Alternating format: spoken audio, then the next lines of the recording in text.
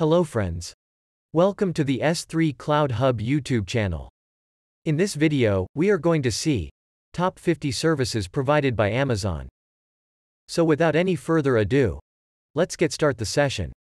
So AWS, aka Amazon Web Services, launched in 2006 with total of 3 products: storage buckets, compute instances, and a messaging queue.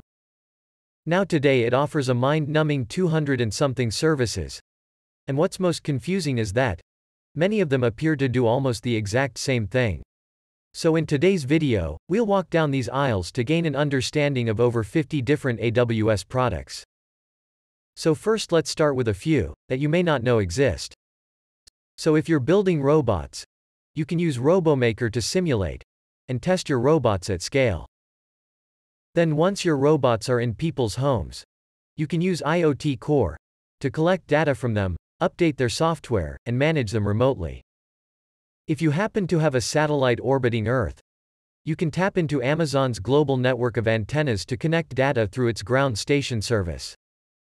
And if you want to start experimenting and researching the future of computing, you can use Braket to interact with a quantum computer. But most developers go to the cloud to solve more practical problems. And for that, let's head to the compute aisle. One of the original AWS products was Elastic Compute Cloud. It's one of the most fundamental building blocks on the platform and allows you to create a virtual computer in the cloud. Choose your operating system, memory, and computing power. Then you can rent that space in the cloud. A common use case is to use an instance as a server for web application, but one problem is that, as your app grows, you'll likely need to distribute traffic across multiple instances. So in 2009, Amazon introduced Elastic Load Balancing, which allowed developers to distribute traffic to multiple instances automatically. In addition, the CloudWatch service can collect logs and metrics from each individual instance. The data collected from CloudWatch can then be passed off to Autoscale, in which you define policies that create new instances as they become needed, based on the traffic and utilization of your current infrastructure. These tools were revolutionary at the time, but developers still wanted an easier way to get things done. And that's where Elastic Beanstalk comes in. Most developers in 2011 just wanted to deploy a Ruby on Rails app. Elastic Beanstalk made that much easier by providing an additional layer of abstraction on top of EC2 and other auto-scaling features. Like choose a template, deploy your code, and let all the auto-scaling stuff happen automatically. This is often called a platform as a service. But in some cases, it's still too complicated. If you don't care about the underlying infrastructure whatsoever, and just want to deploy a WordPress site, Lightsail is an alternative option where you can point and click at what you want to deploy, and worry even less about the underlying configuration. In all these cases, you are deploying a static server that is always running in the cloud. But many computing jobs are ephemeral, which means they don't rely on any persistent state on the server. So why bother deploying a server for code like that in 2014? Lambda came out, which are functions as a service, or serverless computing. With Lambda, you simply upload your code, then choose an event that decides when that code should run. Traffic scaling and networking are all things that happen entirely in the background. And unlike a dedicated server, you only pay for the exact number of requests and computing time that you use. Now, if you don't like writing your own code, you can use the serverless application repository to find pre-built functions that you can deploy with the click of a button. But what if you're a huge enterprise with a bunch of its own servers? So Outpost is a way to run AWS APIs on your own infrastructure without needing to throw your old servers in the garbage. In other cases, you may want to interact with AWS from remote or extreme environments like if you're a scientist in the Arctic. Snow devices are like little mini data centers that can work without internet in hostile environments. So that gives us some fundamental ways to compute things. But many apps today are standardized with Docker containers, allowing them to run on multiple different clouds or computing environments with very little effort. To run a container, you first need to create a Docker image and store it somewhere. Elastic Container Registry allows you to upload an image, then allowing other tools like Elastic Container Service to pull it back down and run it ECS as an API for starting. stopping, and allocating virtual machines to your containers, and allows you to connect them to other products like load balancers. Some companies may want more control over how their app scales, in which case EKS is a tool for running Kubernetes. But in other cases you may want your containers to behave in a more automated way. So Fargate is a tool that will make your containers behave like serverless functions, removing the need to allocate EC2 instances for your containers. But if you're building an application, and already have it containerized, the easiest way to deploy it to AWS is AppRunner. This is a new product in 2021 where you simply point it to a container image, while it handles all the orchestration and scaling behind the scenes. But running an application is only half the battle. We also need to store data in the cloud. Simple Storage Service, or S3 was the very first product offered by AWS. It can store any type of file or object like an image or video, and is based on the same infrastructure as Amazon's e-commerce site. It's great for general purpose file storage. But if you don't access your files very often, you can archive them in Glacier, which has a higher latency but a much lower cost. Now on the other end of the spectrum, you may need storage that is extremely fast and can handle a lot of throughput. Elastic block storage is ideal for applications that have intensive data processing requirements, but requires more manual configuration by the developer. Now if you want something that's highly performant and also fully managed, Elastic File System provides all the bells and whistles, but at a much higher cost. In addition to raw files, developers also need to store structured data for their end users.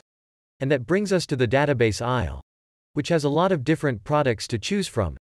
So the first ever database on AWS was SimpleDB, a general purpose NoSQL database, but it tends to be a little too simple for most people. And followed up a few years later with DynamoDB, which is a document database that's very easy to scale horizontally. It's inexpensive and provides fast read performance, but it isn't very good at modeling relational data. If you're familiar with MongoDB, another document database option is DocumentDB. It's a controversial option that's technically not MongoDB, that has a one-to-one mapping of the MongoDB API to get around restrictive open source licensing. Speaking of which Amazon also did a similar thing with Elasticsearch. Which itself is a great option if you want to build something like a full text search engine. But the majority of developers out there will opt for a traditional relational SQL database. Amazon Relational Database Service, RDS, supports a variety of different SQL flavors, and can fully manage things like backups, patching, and scale. But Amazon also offers its own proprietary flavor of SQL called Aurora. It's compatible with Postgres, or MySQL, and can be operated with better performance at a lower cost. In addition Aurora offers a new serverless option. That makes it even easier to scale and you only pay for the actual time that the database is in use. Relational databases are a great general purpose option but they're not the only option. Neptune is a graph database, that can achieve better performance on highly connected datasets, like a social graph or recommendation engine. If your current database is too slow, you may want to bring in ElastiCache, which is a fully managed version of Redis and in-memory database that delivers data to your end users with extremely low latency. If you work with time series data, like the stock market for example, you might benefit from TimeStream, a time series database with built-in functions for time-based queries and additional features for analytics. Here yet another option is the Quantum Ledger database, which allows you to build an immutable set of cryptographically signed transactions, very similar to decentralized blockchain technology. Now let's shift topic and talk about analytics. So to analyze data you first need a place to store it, and a popular option for doing that is Redshift, which is a data warehouse that tries to get you to shift away from Oracle. Warehouses are often used by big enterprises to dump multiple data sources from the business, where they can be analyzed together. When all your data is in one place, it's easier to generate meaningful analytics and run machine learning on it. Data in a warehouse is structured, so it can be queried. But if you need a place to put a large amount of unstructured data, then you can use AWS Lake Formation, which is a tool for creating data lakes or repositories that store a large amount of unstructured data. which can be used in addition to data warehouses to query a larger variety of data sources. If you want to analyze real-time data, you can use Kinesis to capture real-time streams from your infrastructure. Then visualize them in your favorite business intelligence tool. Or you can use a stream processing framework like Apache Spark that runs on Elastic MapReduce, which itself is a service that allows you to operate on massive datasets efficiently with a parallel distributed algorithm. Now if you don't want to use Kinesis for streaming data, a popular alternative is Apache Kafka. It's open source, and Amazon MSK is a fully managed service to get you started. But for the average developer, all this data processing may be a little too complicated. Glue is a serverless product that makes it much easier to extract, transform, and load your data. It can automatically connect to other data sources on AWS like Aurora, Redshift, and S3, and has a tool called Glue Studio so you can create jobs without having to write any actual source code. But one of the biggest advantages of collecting massive amounts of data is that you can use it to help predict the future. And AWS has a bunch of tools in the machine learning aisle to make that process easier. But first, if you don't have any high quality data of your own, you can use the data exchange to purchase and subscribe to data from third party sources. Then, once you have some data in the cloud, you can use SageMaker to connect to it and start building machine learning models with TensorFlow or PyTorch. It operates on multiple levels to make machine learning easier. And provides a managed Jupyter notebook that can connect to a GPU instance to train a machine learning model. Then deploy it somewhere useful. That is cool, but building your own ML models from scratch is still extremely difficult. If you need to do image analysis, you may as well just use the Rekognition API, it can classify all kinds of objects and images, and is likely way better than anything that you would build on your own.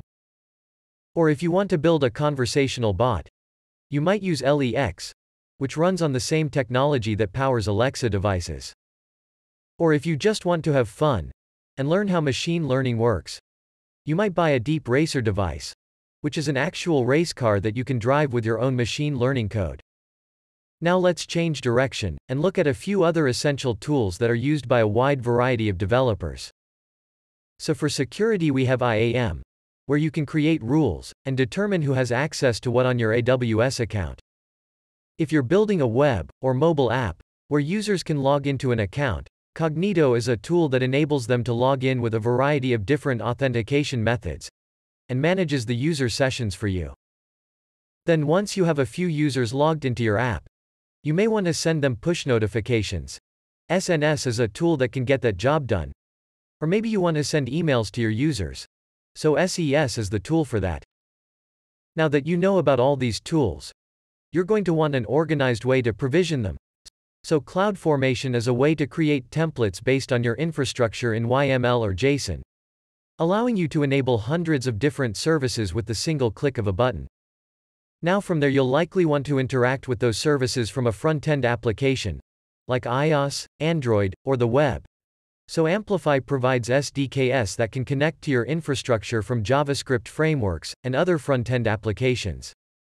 Now the final thing to remember is that all this is going to cost you a ton of money.